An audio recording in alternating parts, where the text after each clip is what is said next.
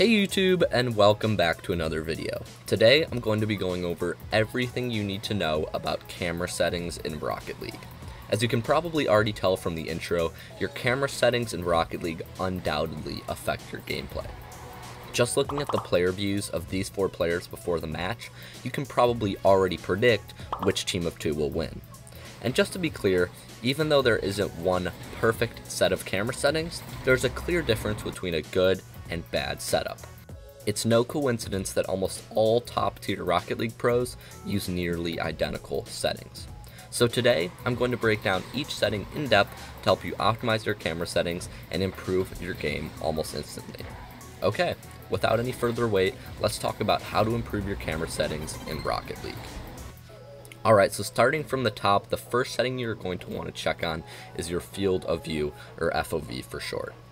Increasing the setting is going to widen how much of the field you can see at any given time, which is pretty much all positive, except for the fact that the field may seem a little bit warped around the edges. But since the setting allows you to see more, and therefore you can get more information and make smarter decisions in the game, almost all pros have the setting maxed out at 110 or something close to it, because really, the higher the better with this setting. Alright, setting number two that I'm going to go over is camera distance. What this setting does is it controls how far away the camera is positioned from your car, so increasing the setting lengthens that distance. Now while it might seem like you'd want to max the setting out, just like with FOV, that's actually not the case, because if you go too far with the setting, you won't be able to hit the ball with any kind of accuracy. Most pros have decided anywhere between 250 to 280 is standard and solid to use, but a handful have gone as far as to increase theirs to 300 or drop it all the way down to 240. For this setting though, I'd recommend starting somewhere in that middle range, and then you can adjust up and down only if you really feel like you need to. Okay, the third big setting is height, and that's how far up or down your camera sits. Unlike camera distance, the consensus on the setting is pretty much set, and that's that a height of 100 or 110 is just strictly the best. So yeah, with this setting, just pick whichever of those two numbers feels better, and try not to mess with it too much. Alright, the fourth and final major setting you're going to want to check is your camera angle. Just as it sounds, this setting controls the angle that you look down on the car.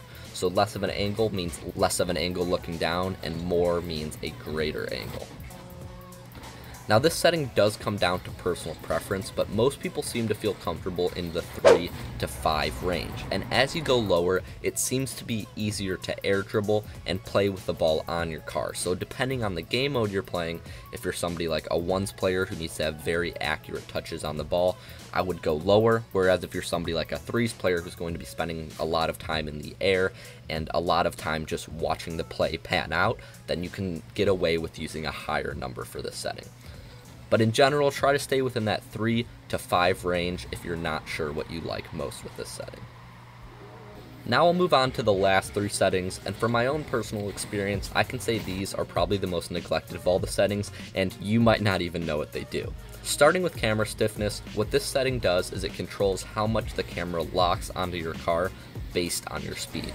So if you're going to max out the setting, your car would always appear the same size no matter how fast you're going. But if you drop stiffness down to zero, your car would appear to get smaller as you drive faster and faster. This is a setting that different people seem to feel differently about, with some pros like Lethamyr going as far as 1.0.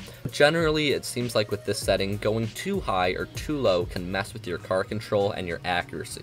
So most pros seem to fall somewhere in the middle range of about 0.40 to 0.60, so I'd stick to something there.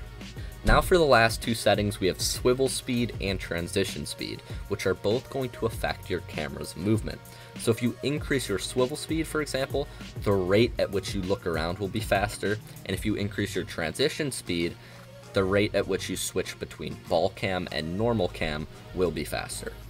For these two settings, my recommendation is to increase them as high as you can while still feeling in control.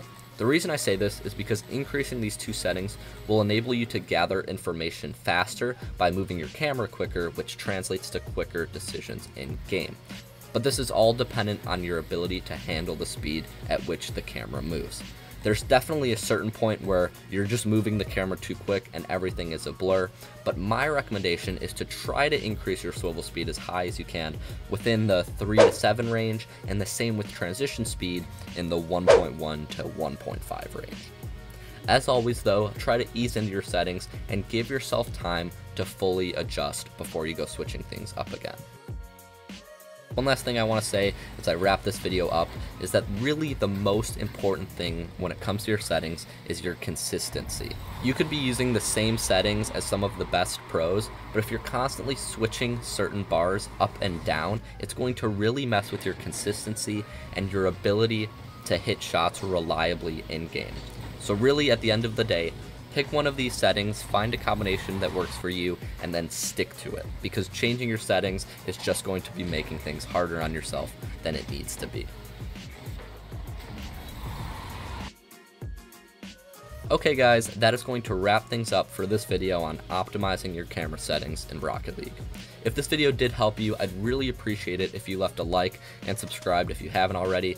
I'm going to be uploading regular Rocket League content, and I have some ideas in store for different types of coaching videos and maybe even private coaching that I think will really help you all improve, um, so stay tuned for more on that. Other than that though, that's all I've got, so thanks so much for watching, and I'll see you all in the next one.